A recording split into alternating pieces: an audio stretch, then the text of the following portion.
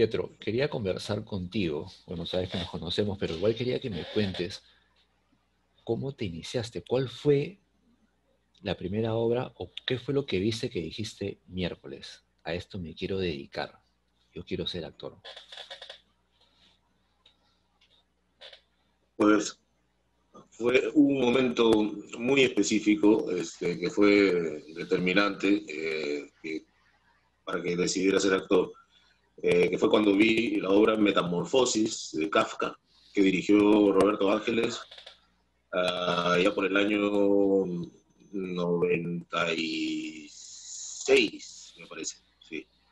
Y bueno, mi tío Jorge Eslava, escritor, este, que conocía a Roberto, eh, me llevó a ver la obra y quedé fascinado, quedé absolutamente deslumbrado y me acuerdo clarísimo que, que pensé, yo quiero estar ahí en el escenario.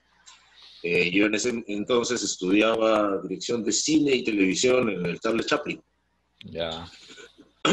Y luego mi tío me, me presenta a Roberto eh, porque quería, yo era un loquito con la cámara, andaba con, con, la, con, la, cámara todo el día, grabando todo lo que podía, jodiendo a mi familia, a, a, mis primos, y, y, entonces este, quise grabar la obra. Hablé con Roberto para grabar la obra y la grabé como ocho veces desde distintos ángulos para luego editarla y, y, y tenerlas, eh, tener un video bonito.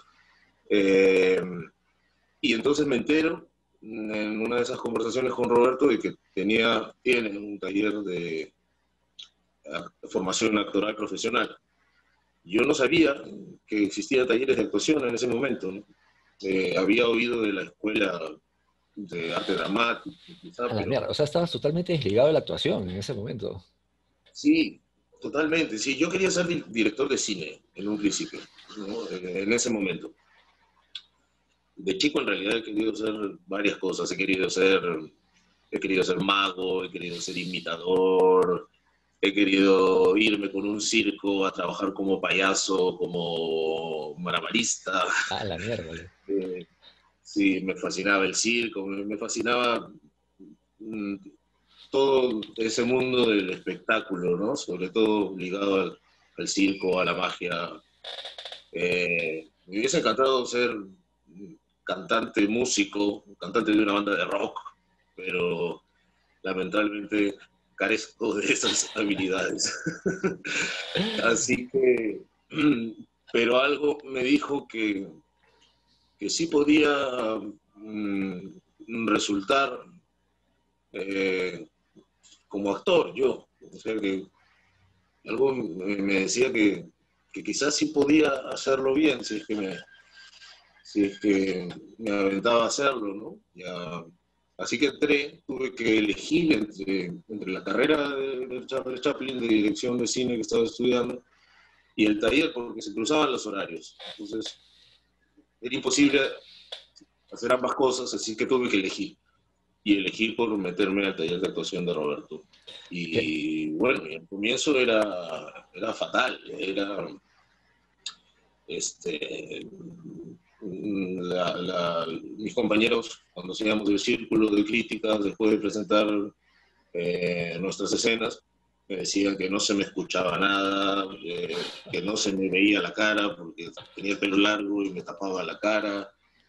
Todo eran malas críticas, no que no se me entendía lo que decía, que parecía que hablaba como dentro de un cascarón de huevo. Y y pucha, así empecé. Al comienzo era desastroso. En mis primeros ejercicios. ¿Qué edad tenías? Ya, que te interrumpa. ¿Qué edad tenías en esa época? Tenía eh, de, de, 18 para 19 años. ¿Te sentías frustrado cuando te decían eso? Decías, puta, ya, ya fui, ya no sirvo para esto. Sí, claro. Por supuesto.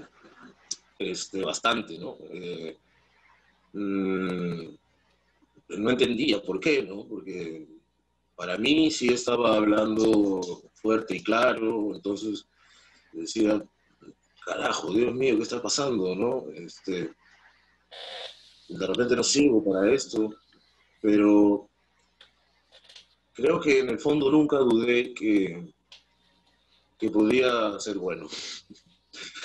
eh, modestia aparte. Cuando llegué al segundo nivel, me acuerdo que la evaluación final del segundo nivel, eh, recién ahí Roberto me dice que, había avanzado bastante, que había crecido a pasos agigantados entre, entre desde que empecé hasta el final del segundo nivel. Y bueno, y ahí mismo, en el, estando en el segundo nivel, eh, eh, Roberto me propone para un casting, para una obra de teatro que, que se llama Roberto Suco, de Bernard Méricoltés, eh, en francés, este, que, que, iba a dirigir Marco Meléndez, un director desaparecido, y que iba a protagonizar Bruno Da. ¿no? Entonces, estaban haciendo un casting para, un, para el papel de un papel chiquitito de un chico que aparecía en una sola escena. ¿no? Eh, así que hice el casting y, y me escogieron. Lo, lo, lo, terminé haciendo y bueno, y tenía una sola escena en la que aparecía en un parque, mi mamá era Sonia Seminario y Roberto supo que era un psicópata asesino, eh, me, me, secuestraba, me tiraba al piso, me pisaba la cabeza y me volaba los sesos en escena. Esa era toda mi participación y yo estaba feliz, por supuesto, de que Bruno Dar, que claro. me parecía y me sigue pareciendo un, un actorazo, este, me matara en el asesinar en escena, Bruno Dar, claro, debe ser lo máximo. Pues, ¿no? Sí. Esa obra fue creo que a, en el 96, la que tú hiciste. Sí, exactamente. Ah, dime, ¿tu primera aparición en tele fue en La Rica Vicky o habías aparecido antes en otra serie? Efectivamente, esa fue mi primera aparición, sí. Eh, que fue eh, un año después de, de, haber terminado el taller, ¿no? Ahí nomás. Ah, no. eh, me enteré que estaban haciendo un, un casting, o alguien me habrá pasado la voz. Eh, y, y, bueno, pasé el casting y me eligieron como mi personaje de Juani, que era el, este, el amigo de uno de los protagonistas, ¿no? Que, que, se enamoraba de Vicky, que decía Gabriel Anselmi, era un, era un mecánico de un taller de mecánico. Claro, eras pata, pues, ¿no? Eras el pata de Gabriel Anselmi. ¿no? Y creo Así que le tenías cólera al, al, galán, ¿no? De la novela. Claro. Al galán, al, al que era el, el pituco, este, pituco blancón que llegaba al barrio de la Victoria y se enamoraba de Vicky. Entonces yo, yo apoyaba a, a, mi amigo, por supuesto, que también estaba enamorado de Vicky. Y creo que ahí incluso, eh, no sé si la gente sabe, pero a ti como que el fútbol no te llama mucho la atención, ¿no? Pero recuerdo que en la rica Vicky habían escenas que jugaban pelota, porque recuerdo que en una escena creo que vas y macheteas al galán, no sé si te acuerdas, como que le quieres romper la pierna o lo fracturas, algo así. Y, sí, ¿cómo te acuerdas? Ok, has cholo. Sí. Pero lo que yo sé es que a ti no te gusta mucho el fútbol, ¿sabes? Sí. ¿Cómo hiciste esa escena? Sí, ¿qué edad tenías tú cuando...? Este, no, no era tan chivolo, bueno. ¿ah? porque nosotros estamos por ahí, o sea, casi tenemos la misma edad, pero, pero no estaba todavía yo, ¿Ah, no sí? estaba haciendo teatro, nada de esas cosas. Pero me acuerdo de esa escena, pues. Y después, mm. cuando te conocí, me enteré que no te gustaba el fútbol, y digo, pero ¿cómo hizo? ¿Cómo hizo, compadre, esta, esta escena? Ahora te lo pregunto, maño. Sí, no, fue una escena dificilísima de hacer, de hacer. Para mí yo estaba preocupadísimo porque no jugaba nada. No, no jugaba nada. Este, apenas había peloteado un poco con, con un tío y un primo mío, ¿no? Pero nunca he sido futbolero, es cierto. Eh, eh, en ese momento nunca jamás había jugado una pichanguita, eh, ni, ni, ni, me juntaba con, con, no era de juntarme con los amigos del barrio y salir a pelotear, nada, nada, era nulo. Entonces, lo que a mí más me costaba y con lo que más sufría este, de hacer en esa novela era jugar fútbol y bailar salsa, porque para eso también era fatal. ¿Que en la novela tenías que bailar también? Claro, porque el, personaje era. Este, le encantaba la salsa. Claro, eras de la victoria, así que me imagino que tenías que demostrar tus pasos. Y a veces decía en el guion que, que, se tiraba un pasito por ahí de salsa, ¿no? Y paraba diciendo sabor. ¿Te acuerdas? Me acuerdo mucho de tu peinado, tienes un peinado así, medio raro. Hice mi mejor esfuerzo, ¿no? De hecho, tuvimos clases de salsa, ¿no? Pero. Eh, y todos bailaban, todos bailaban mucho mejor que yo. Y yo era el que más tenía que bailar, el que mejor tenía que bailar. Ah, voy a buscar esa escena, porque. Tuve que pasar un casting de baile de salsa para que me eligieran. Después, bueno, mucho después de La Rica Vicky, justo hablando de, peloteos, viene la obra Un misterio, una pasión, que coincidentemente también está relacionada al fútbol. Y recuerdo mucho que en los ensayos tú te ponías a pelotear, pues, ¿no? Porque supuestamente había una escena en la que iban a hacer como una especie de pichanguita. y, tú agarras la pelota y comenzabas a practicar para, para que no se te escape la ola, pues, ¿no? ¿Te acuerdas de eso?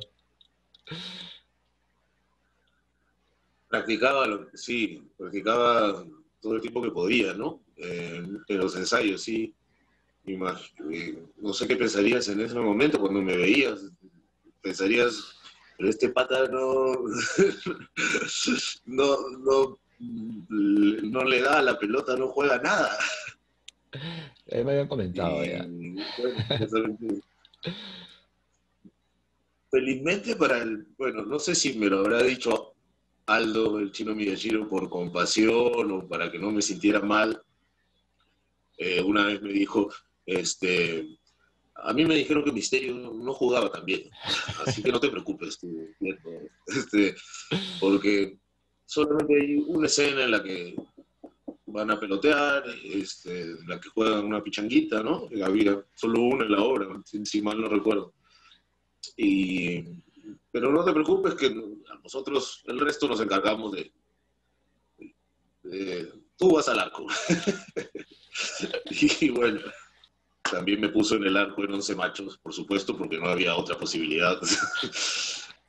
Con las manos, por lo menos, podía defenderme, hacer algo de eh, eh, podía simularse que, hacía grandes tapadas, ¿no? Eh, pero con los pies, no. O sea que el fútbol te ha perseguido, hermano. Has tenido que chambear de futbolista a buenas ocasiones. De alguna forma, sí, gracias a, mi amigo el chino, ¿no? A nuestro amigo. Hablando de un misterio y una pasión, cuando llega la obra a la televisión, ¿sientes que cambió en ti? ¿Te cambió la vida o siguió siendo normal? ¿Ya tenía fama en ese momento? No, no, todavía no había llegado a la popularidad a mí, eh, menos la fama. Eh, todavía era un, actor desconocido. Eh, había hecho solo la, rica Vicky, que lo vio mucha gente, pero eso no, no es suficiente como para que este, la, gente te reconozca en la calle y tal, ¿no? Este, por ahí quizás alguno me reconocía, pero... Eh, pero no, fue a raíz de, la serie de Misterio que, me hice popular. Sí, y porque fue un, un éxito rotundo, ¿no? Casi un fenómeno, diría yo, en la televisión, que hasta ahora, eh, hasta ahora lo, están transmitiendo, la han repetido varias veces todos estos años y, y hasta ahora la gente le tiene mucho cariño y, y la sigue, la ve, eh, eh, gente de, de, todas las generaciones, ¿no? de nuestra generación cuando hicimos la serie, mayores también, y ahora hasta, hasta chiquillos de 8, 10 años, ¿no? Este, claro, mierda, sí, es verdad. Es verdad. Hacen la serie y la, y la siguen, es, es alucinante eso. Dime, ¿y te siguen preguntando, hincha, de qué equipo eres o ya, ya bajó un poco? Sí, siempre, siempre, este, eh, los taxistas, sobre todo, ¿no? Eh, cuando me reconocen, este, eh, me dicen, este, tú eres el que hiciste Misterio, Mandril, este, y eres hincha de la U, ¿no? ¿No? O sea, ya lo toman prácticamente por sentado. De que si yo hice Misterio, tengo que ser hincha de la U, ¿no? no hay otra forma. Claro. Yo imagino que a veces ni te preguntan y te hacen comentarios pensando que tú eres de la U. Sí. Y yo, aunque no siempre digo la verdad,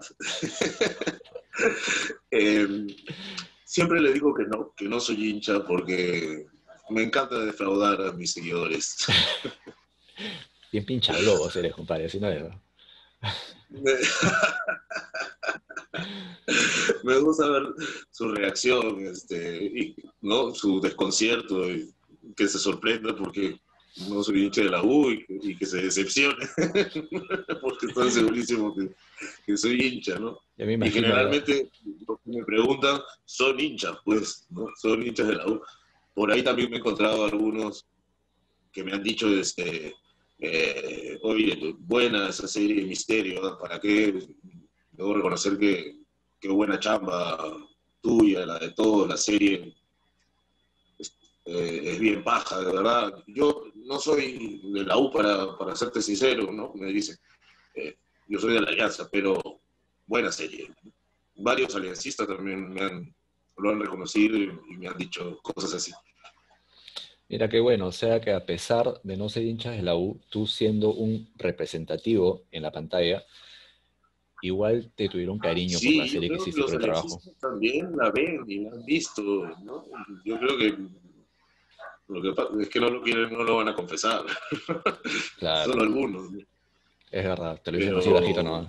Es que, es que toca el, abarca todo este contexto de las barras, ¿no? Que no solo le compete a, a la U, sino también justamente al equipo, al, al equipo contrario, el más fuerte, el más, al oponente más importante, ¿no? Claro. Después de Misterio vino Lobos de Mar, Zacarías, que hiciste un personaje diametralmente distinto a lo que era Misterio, pues, ¿no? ¿Qué tal esa construcción? ¿Cómo se te ocurrió? ¿Se te ocurrió a ti? ¿Te la, ¿Te la pusieron? ¿Te dijeron tienes que ser totalmente loco? ¿Decidiste raparte el cabello? ¿Cómo fue? Pues fue una propuesta fascinante para mí, ¿no?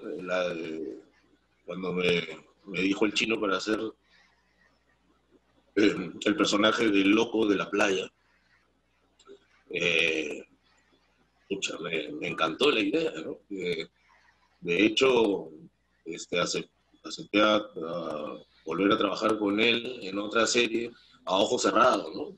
después del éxito de Misterio y con la amistad que habíamos cultivado, el chino y yo, este, le dije que sí enseguida, pero cuando me dijo para hacer de, Zacarías, este, me encantó simplemente la idea y, y sí, fue, fue mi idea raparme la, cabeza y las cejas, le, dije al chino, oye, eh, chino, ¿y si, me rapo la, la cabeza y las cejas para parecer mayor y me dejo la barba?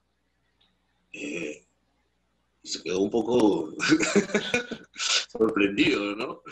Y le, le dijo a Carmona, después me contó que le dijo a Carmona en privado, oye, Pietro quiere raparse la cabeza y las cejas. Y Carmona le dijo, ya, que lo haga, que haga lo que quiera. Así que lo hice para, para verme raro, ¿no? Y además hacer una, una, transformación radical, que es lo que siempre he intentado, ¿no? Eh, eh, y siempre me ha, eso me parece una de las cosas más fascinantes de la actuación, la transformación, el hecho de hacer personajes que que se vean distinto, que hablen distinto, ¿no? Transformarme física y vocalmente, esa es una de las cosas más fascinantes para mí. Y fue un personaje entrañable, creo, ¿no? A, la gente también le, le gustó mucho. Lindo personaje, ¿no? Con su compañero inseparable, Anguila, que, que hacía Emil Rancosío. Claro. Eh, la gente recuerda mucho a Lobos de Mar, ¿no? No sé si te lo han comentado, pero yo he escuchado varios y todos hacían, además, todos hicieron personajes muy distintos, que era justamente lo que el chino ya tenía pensado y, quería, ¿no? a los de Misterio, ¿no? Todos los actores de Misterio, claro. que están casi, están muchos en el Lobo de Mar, hicieron personajes totalmente distintos a los que habían hecho. Esa era la idea. Eh, el de Heisen, por ejemplo, Minaya, ¿no? Que en la serie fue Tyson, y acá era Minaya, un pescador.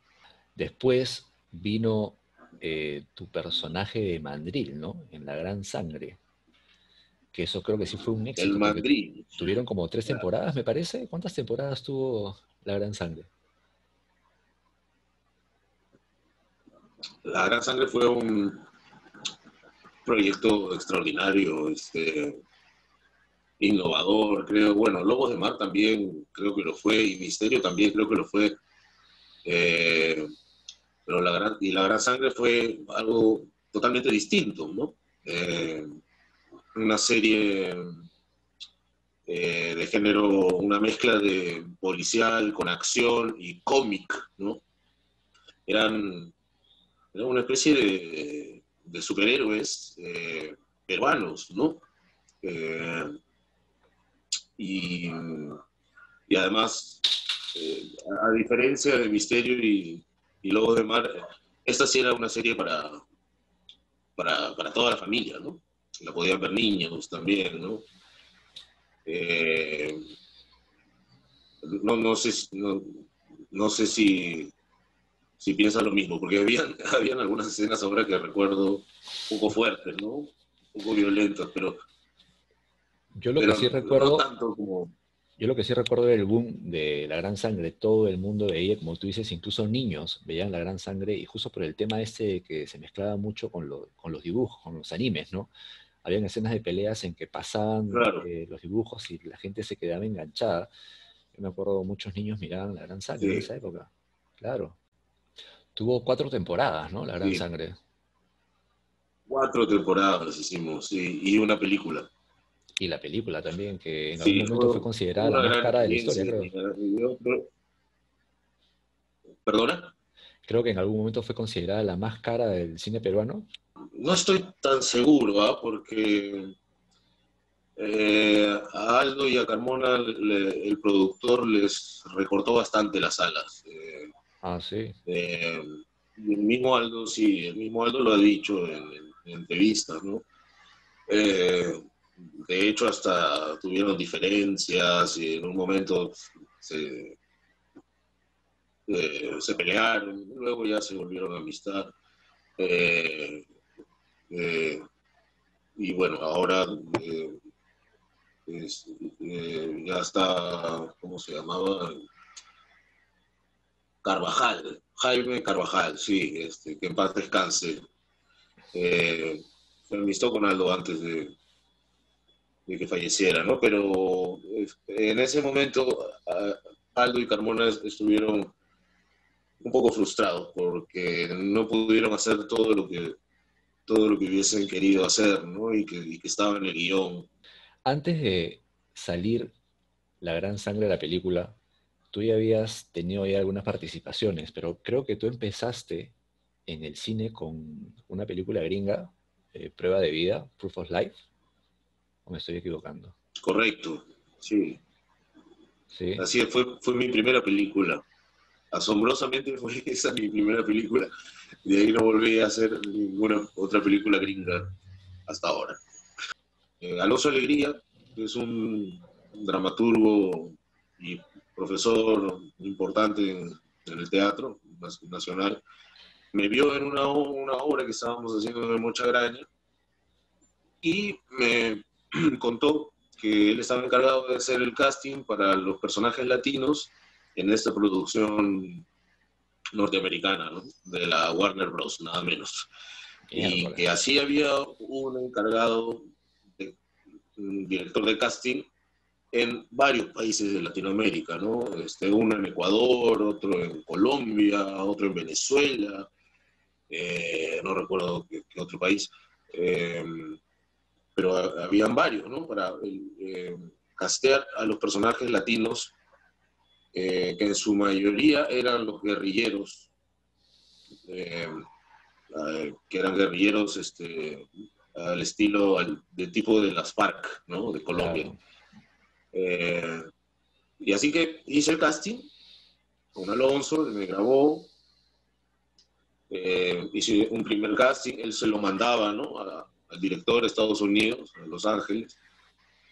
Eh, hice un primer casting, un segundo casting, un tercer casting, hasta que hubo un momento en que vino el mismo director, Taylor Hackford, a, a hacer un último casting en Lima. Eh, para definir, ya, ya habían este, este, preseleccionado y, eh, de, varios países, ¿no? Había una ecuatoriana, una venezolana, y bueno, de mi grupo, ¿no? digamos, de mi núcleo, de los guerrilleros, eh, y, algunos peruanos también. Y bueno, hice el casting final en la Universidad Católica, me acuerdo, clarísimo, y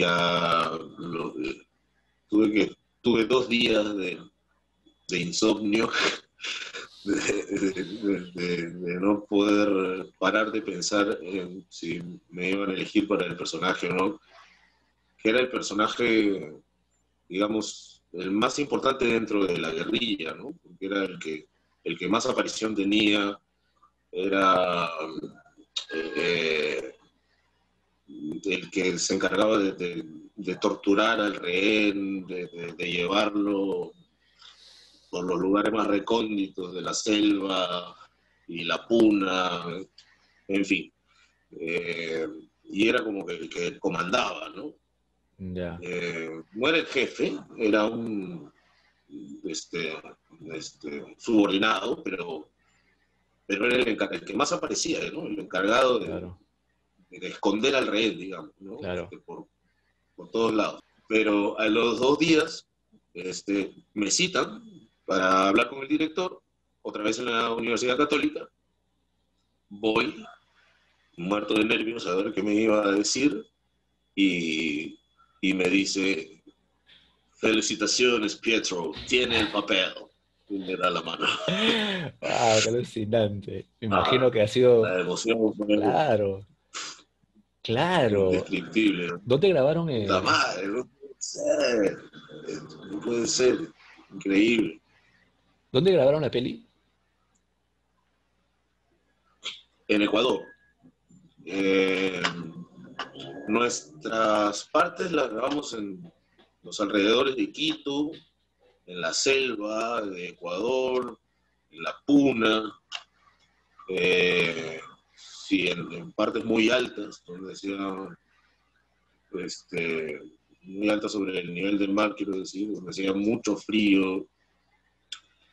Eh, pero la pasamos increíble, ¿no? Nos trataban como reyes, estábamos, estábamos hospedados en el Swiss Hotel en Quito, y, y, la mayoría de actores que eligió el director eran peruanos, ¿no? La, la mayoría de los latinos eran peruanos. Fuimos 14 peruanos en, total.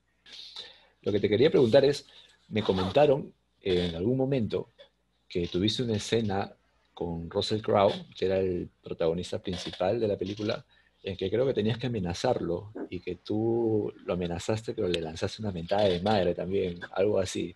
¿Eso es verdad o me estaban floreando? Ah, no, no, fue exactamente así. Mm. Nosotros, eh, Russell Crowe y yo, teníamos, es decir, mi mayor eh, interacción con, eh, era con David Morse, que es otro gran actor gringo, que no es tan conocido, claro, pero es un excelente actor, que era el rey, ¿no? al que yo torturaba y este, lo amenazaba y lo, agredía y tal. Y, con Russell Crowe teníamos un solo intercambio hacia el final de la película, eh, donde que era el combate final entre, eh, entre, estos dos comandos, que eran Russell Crowe y David Caruso, y toda la guerrilla. Se enfrentaban contra toda la guerrilla para rescatar al rey. Solo los dos por supuesto, terminan ganando, ¿no? Es una película gringa. Claro, ellos contra el mundo. Y, y recuerdo que, bueno, en, la, en, la, película mm, lo que hace este Russell Crowe es tirar una granada. No, perdón, estoy confundiendo totalmente, estoy hablando tonterías. Solamente tenemos un cruce, digamos, en medio del enfrentamiento, ¿no? Este, en medio del, el combate del tiroteo con, con, este, con, los fusiles, las AKMs. Eh, y, pero me acuerdo que, cuando llegó al set para rodar esa escena Russell Crowe, eh, se me se acercó a, a los que a, cada uno de los eh, de los actores que estábamos ahí cerca, ¿no? Eh, en el campamento guerrillero. Eh, se nos acercó a saludar y me acuerdo el momento en que se, acerca y, me da la mano y me saluda muy, muy amablemente y, muy, muy, muy sencillo él. Este, aunque también este, escuché historias eh, de, las que había explotado este, y que era muy temperamental, ¿no? pero, pero al parecer era un buen tipo, ¿no? Porque, como te digo, se acercó a saludarnos él mismo, a donde estábamos, a darnos la mano, a, los involucrados de, la escena. Y me acuerdo que justo se, se, estaba estrenando durante el rodaje su película Gladiador en Estados Unidos. Y él hizo que se hiciera una función especial antes de que se estrenara en Quito, se hiciera una función especial en un cine solo para todo el equipo de la producción, incluidos actores, técnicos, todos, ¿no? Y, eh, ahí vimos su película y luego de la película eh, bajamos a un bar que estaba en el centro comercial donde estaba el cine, eh, lo, lo, cerraron y Russell Crowe invitó todos los tragos y las cervezas para celebrar. Buen tipo entonces, ¿no? Sí. Bueno, no, le debe haber significado mucho, ¿no? en la cuenta, pero, pero igual es un gran gesto, claro. Ah, pero me olvidaba de algo. En la, en la película hay un momento en que este, Russell Crowe ya está con el rey y y yo están como ocultos en un montículo y yo les tiro una granada y, y lo dejo a Russell Crowe, este, este, le explota en la cara la granada y, y, lo dejo a Russell Crowe este, ciego por, por unos momentos. Por supuesto, este, después de unos minutos recupera la vista. Después de, bueno, no mucho después, sea, fue ya, creo que Prueba de Vida fue el 2001 y Días de Santiago fue el 2004, ¿no? Que fue un peliculón, fue súper galardonada. Eh, la gente se acuerda de ese personaje, porque yo recuerdo escenas o diálogos de tu personaje que creo que se han quedado marcados como los diálogos del cine nacional, ¿no? Pues afortunadamente sí. Este, eh, para sorpresa de todos, fue mm, la película más premiada en la historia del cine peruano. Eh, ganó 37, 37 premios alrededor del mundo. eh, de los cuales eh, yo me llevé seis como mejor actor en distintas partes del mundo, incluido el Festival de Cine de Lima. Y sí, esa fue mi segunda película en el 2004 y fue una gran experiencia también, ¿no? Este, totalmente distinta, por supuesto, porque fue la primera película de José Méndez, eh, una película independiente, ¿no?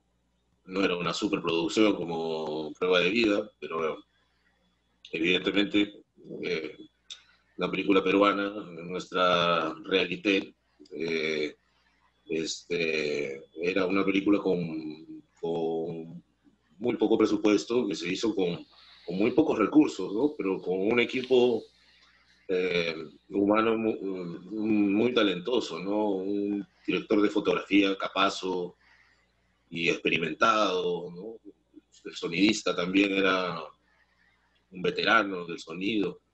Eh, es decir, Josué se rodeó de profesionales con mucha experiencia mm, para que se ocuparan de, la, de los de, los aspectos más importantes ¿no? del cine, que son la fotografía y el sonido, ¿no? y, y, la edición. Claro. Y bueno, también tuve que pasar por un casting, por supuesto, y terminó eligiéndome a mí para el protagonista. Era, fue mi primer protagónico en el cine y y bueno, la, película no fue un éxito de taquilla aquí, de hecho, en comparación, es decir, bueno, depende, es relativo, ¿no? Pero la vieron solo 50.000 personas cuando se estrenó acá en Lima. Sin embargo, tuvo mucho éxito de crítica y de público en el extranjero. A ver, Pietro, vamos con algunas preguntas de cajón, ¿ya? Eh, a ver, cuéntame. Ajá. Eh, ¿Has ido caleta para, al cine para ver cómo reaccionan con tus pelis? ¿O no, o no, no, no te gusta ver la reacción del público? ¿O sí te has metido caleta? Eh, no he necesitado meterme tan... No, nunca me he metido caleta. Siempre, este, como, como cualquier otro espectador, pagando mi entrada con mi novia. Eh, pero contadas veces, ¿no? Muy pocas veces. Y y claro, eh, por supuesto hay gente que, que, nos, para, que nos saluda, que nos pide fotos, eh, y yo se las doy encantados, siempre, que, siempre que lo hagan este, amablemente y, con educación, porque nunca falta algún, algún faltoso, algún conchudo que te dice, o una foto, pe, mandril, ¿no? o algo así. Doctor, la segunda era, ¿con qué personaje la gente todavía te identifica? De todos los que has hecho, ¿cuál es el que más te dicen? Porque imagino que son varios. Pues el que más me identifican, eh, bueno, Misterio, Mandril y Santiago. Mira, todavía con Misterio y Mandril, que han sido hace tiempo. Y Santiago. Sí, con esos tres. Y Santiago también. Eh, me he cruzado con varios, varios taxistas que me han hablado de la película, que la han visto, por supuesto, en DVD, eh, probablemente pirateada, pero, pero, pero yo feliz ¿no? de que la hayan podido ver, porque es la única manera de, de, era, ¿no? La única manera de poder verla hasta hasta que luego llegaron a este convenio entre los piratas y, las productoras de que las películas peruanas las vendieran solo en original, ¿no? Ah, pero a un precio también recontra accesible, 10 soles, ¿no? Claro. Eh, y estos taxistas me, me, me, decían que la película les, les, había encantado, que les había, que les había hecho recordar a su época militar, o sea, me he cruzado con varios taxistas excombatientes, así como el propio Santiago. Eh, y, creo que no hay mayor halago que un mismo excombatiente este, se haya sentido identificado con el personaje y me diga, pucha, de verdad que qué bien lo representaste o qué, bien este, eh, transmitiste eh, todas las cosas que, que, que, significa para nosotros este, eh, la, vida militar y haber estado en la guerra y, y las cosas que, uno trae después de la guerra, ¿no? las perturbaciones que uno tiene en la cabeza. Eh, así se han, sido muy sinceros conmigo y, bueno, para mí eh, eso ha sido un, gran halago. Dime, eh, ¿algún roche que te acuerdes que te haya sucedido en escena o en grabación de una película? ¿Alguna una metida de patas y una que hayas dicho, mierda, acá la fregué? Se me viene a la cabeza una, un, un momento de cuando estábamos rodando 11 Machos 2, la película, y, no sé qué, qué, qué, chiste hace Andrés Salas, que eh, exploté en risa en, en, plena toma, ¿no? Y tuvieron que cortar, pues, porque exploté así, pero con todo, ¿no? y malogré la toma. Entonces hicimos una segunda toma y cuando el Chato Salas vuelve a decir el texto, vuelvo a explotar en risa. y tuvieron que volver a cortar. Hicimos una tercera toma y me pasó lo mismo. No podía ya, estaba jodido, ya no podía controlarme más. Porque no, tú sabes que cuando te pasa eso de que hay un chiste que, que se te queda ya en la cabeza cuando estás grabando una escena o algo demasiado gracioso, ya te jodiste, ¿no? Te vas a seguir riendo hasta, hasta, el final, hasta el final, ¿no? No había cuándo parar. Incluso la, la toma que quedó, yo estaba retorciéndome y tragándome la risa. Lo más jodido es que en las primeras tomas los demás se ríen, ¿no? Pero en la tercera, cuarta, los demás te dicen, ya, pejo, para, para la pe, ya. Sí, claro, claro, claro, claro. Sí, claro. Y empieza, ya se empiezan a cansar, pues la gente se empieza a cansar, el camarógrafo está con la cámara ahí al, hombro, ¿no? El, el, con el micrófono ahí, y ya te empiezan a mirar como, oye, pues... Ya, ya te cosita, te dice. Pietro, ¿Alguna producción en la que estés participando en este momento? Eh, lo que, a lo que he tenido que hacer es adaptarme a los nuevos medios, al Internet y a la, tecnología. Yo siempre he sido muy mm, antitecnológico eh, y no muy amigo de las redes sociales, entonces me ha costado bastante, ha sido muy difícil para mí adaptarme y aprender a usarlas. Eh, pero llegué a hacer un, un, monólogo de una obra que hicimos hace cinco años que se llamó El hombre del subsuelo. Y hice la primera parte ¿no? Eh, vía Zoom. Eh, y nos fue bastante bien. Hubo, hubo bastante acogida. llenamos las ocho funciones que hicimos. Y luego hice otra, obra corta también este, eh, de Samuel Beckett con Carlos Casella eh, y luego eh, en ese momento estamos haciendo una obrita escrita y dirigida por Gonzalo Ladines que se llama Una noche con Grotowski que se acaba mañana. Han sido solo cuatro funciones. Es, es una pena porque ensayamos tanto, ¿no? Tanto para esta obra como para las anteriores. Eh, y solo hacemos muy pocas funciones porque porque a veces no da para más, ¿no?